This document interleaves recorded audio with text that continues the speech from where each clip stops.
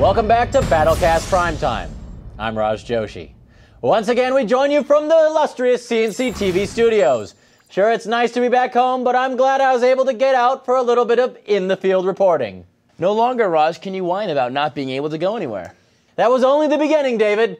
Coming off of a humiliating defeat last month, we're actually letting APOC out of his corner to cover the Red Alert 3 Community Summit. That's right, the little guy's licked his wounds, and it's now time to bring you all the news by the fans for the fans in APOC's Community Corner live from the Community Summit Red Alert 3 tournament.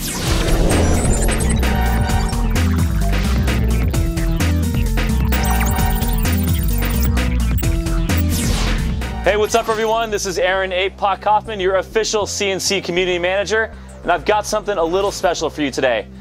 I am live here at the Red Alert 3 Community Summit. Red Night! Red Night! Thank you, my people. All right, let's get right into it. So, as you may know by now, the patch for Kane's Wrath PC is finally out. Yes, it's finally here, people, and it's going to address a lot of balance changes for all nine factions also fix those pesky little desyncs and bugs. It's a great patch, and coming with the patch is also the onset of Ladder Season 2. You may remember our winner, Sean Teeter, from last season, taking home the $5,000 grand prize for the USA. Now we've opened up the ladder season to over 20 countries worldwide, and we've got an even bigger prize. $6,000 is on the table. So, Cutting back to our console friends, this is Kane's Wrath 360 and it is finally out. We've gone gold, we're out there, the next evolution in console RTS is finally here. And speaking of Kane's Wrath for Xbox 360, we've also got a bunch of contests going on with some of our best fan sites. We've got Unscripted 360 and Gamertag Radio giving away a lot of swag, t-shirts, mugs, bumper stickers, games, and best of all, a copy of Kane's Wrath for Xbox 360. And shooting back over to the PC, you may heard of the CNC3 mod SDK, which was released a little while ago. And we've got one of our uh, top prominent modders here, Brian Smurf Biscuit Ahonen, to tell us about a new mod coming up called Mideast Crisis 2. All right, so Brian, Mideast Crisis 2, it's coming out soon. Tell us a little bit about it. Mideast Crisis 2 is a total conversion for Command & Conquer 3. It has three new factions, Israel, Guardians of Islam, and the UN Peacekeepers. It has all new maps, all new units, and maybe a campaign. Sounds practically like a, like a true expansion pack to CNC3. Yeah, it almost is, uh, but you can think of it better as CNC Generals with balls. You think the United Nations is going to approve of your theme? No, they're not going to like it at all. so why don't you tell us a little bit about the gameplay? Well, this has very little in common with the first one. And since we switched to CNC3, we're going to have a completely new resource model where you have to capture occupation points. What's uh, what's your favorite part about Mideast Crisis 2 so far? What do you like the best about it? My favorite thing so far has to be the IDF because all the buildings are completely mobile and you can fly all around the map at ease. I'm very excited for Mideast Crisis 2 now. Tell me, when does it come out? Hopefully it'll come out end of June, early July. Well, thank you for coming to the corner. It's a pleasure having you, and I hope you've been enjoying the Red Alert 3 Community Summit. All right. Well, that's it, folks. Again, we're live here at the Red Alert 3 Community Summit. Red Night! Red Night! All right. Well, that's all I got for you today. Every day is Commie Day. Earlier this month, we brought 24 community leaders to our Los Angeles studios to witness the development of Red Alert 3 firsthand. The two-day event featured presentations from producers, artists, designers, and CNC TV's own Greg Black. The team unveiled all of the units, structures, and powers in the game, including those for the new Empire of the Rising Sun faction. After hands-on sessions with the latest builds, these RTS legends sat down with the dev team to give critical feedback before the beta test. We wrapped up the event by turning the tables and letting our illustrious guests school the dev team on life after launch with the Mod SDK. Going hands-on with Red Alert 3 is enough to make anyone jealous, but one lucky community member will be taking it even further.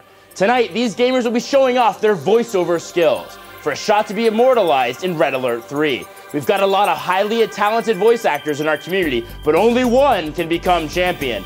This is Red Alert Idol.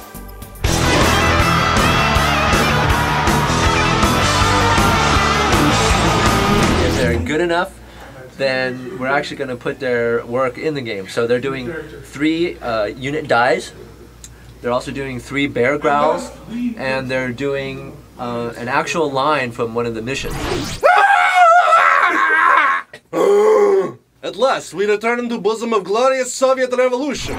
Look, Tim, I know this is the real you, so you just keep being you. That was awesome. Tim, that was horrible. I mean, seriously, Sean Connery gave a better Russian accent than you just did. I think you need to go back to being a website producer. At last, we return to bosom's glorious Soviet revolution. Dog, dog. It was all right. The growl was all right. All right, you know what I'm saying? But uh, but the French Russian thing, uh, I don't I don't know if I'm feeling it so much. You know, it's just how I'm feeling. At last, we return to the bottom of glorious Soviet revolution. You know, I think you really, really heated that up like Barry Manilow. So much that I think we're going to be pulling a lot more female gamers into Red Alert. Barry Manilow is more like Barry White. I think that bear was in heat.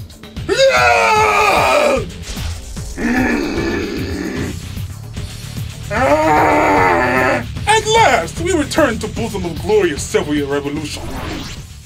You know, that was uh, was pretty good. Your die did uh, confuse me. I thought it was a growl, but when I heard your growl, I gotta say, dog, that was a great growl. Great growl. Not even gonna touch the Russian accent. Well, those are our finalists. Before we open up the email lines, let's take a quick look at them all again.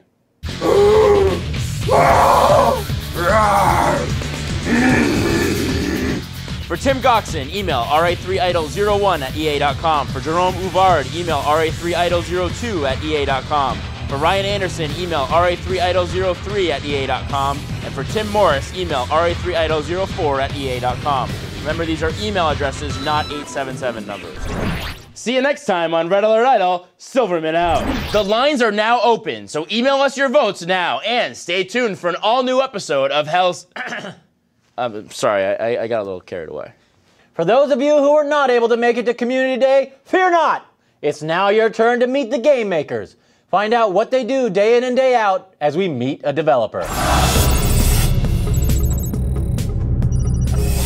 I'm Jill Donald, and I'm the Senior Development Director on Command & Conquer Red Alert 3. I actually spent all of one semester in college as an architecture major, and as many people who've had similar experiences can attest, a lot of architecture majors stop that path after about a semester, which I did, and then was a psychology major. So I actually have my BS in psychology from Carnegie Mellon University. You know, most of the people that I think the general public sees are people talking about creative things, ideas, what's going to go into the game. People like producers, designers, artists. The development directors here are the people who take all those ideas, work with the team, and actually figure out how to get the game made. So we spend our time developing plans with people, creating schedules, prioritizing work, basically making sure that the time the team spends is spent on things that are going to make the game better. You know, we take making Red Alert 3 very seriously. I mean, we know what the expectations are, we know what a beloved franchise it is. Um, but at the same time, we, like I said, we make video games. You want people to enjoy what they're doing, to have fun with it. So we definitely try to keep that atmosphere and environment on the team. We are never above in a team meeting putting up a funny picture of someone who's done something embarrassing. Um, that's always a highlight of any team meeting. I do have to be very careful though, because the moment you say anything that could even slightly be a double entendre, there's just snickers from the entire team. We have a regular supply of Nerf darts that there are dart battles that go on. People have scooters they use to get around the floor. I always feel like I fit in. I don't think the guys treat me any differently. I may be a girl, but I like the same stuff they do. But I just like a lot of the people on the team. I have a lot of Greg Black stories, most of which are not appropriate for television. Um, Greg is certainly a character. Greg has recently learned a little bit to play the harmonica and uses the harmonica to express the people at work who annoy him. So you'll get a little bit of like, banana, I hate you guys, banana, I hate you all. Especially Dave Silverman. I hate him the most. I think when it comes to like the written word, Greg Kasavin is just the man. He can write anything and make it sound great. Whether it's unit responses or like when he's writing review feedback for people. The spy is so hysterical, I think people are gonna want to use and build that unit just to hear what he says. There is this perception that like, oh, it must be really hard to get into video games. If you wanna work on games, just find a way to get in there.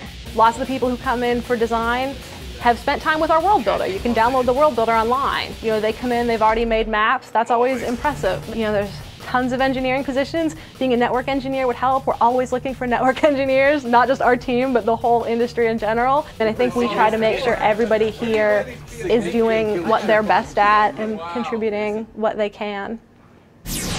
Maybe we should do a Meet a Developer segment about me next time, right, David? Uh, you'd actually have to develop something, Raj. Plus, I don't think we'd have enough footage to make a full segment. When we return, last month you saw APOC get demolished in a demoralizing match against Commander T. Well, at least he won one match, unlike uh, some other people. An all new grudge match awaits you, and I promise this time the opponents will be a little bit more evenly matched. You don't want to miss this when Battlecast Primetime continues on Command and Conquer TV.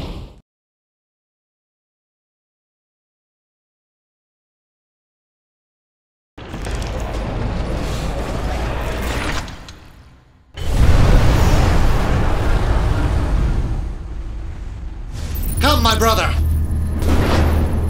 It is time you saw the face of the future.